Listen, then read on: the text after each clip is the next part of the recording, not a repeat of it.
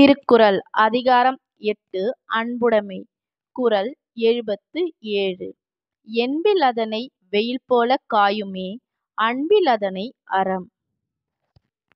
இந்த குறளுக்கான விளக்கம் எலும்பு இல்லாத உடல் கொண்ட புழுக்கள் போன்றவற்றை வெயில் வருத்துவது போல அன்பில்லாத உயிரை அறக்கடவுள் வருத்துவார்.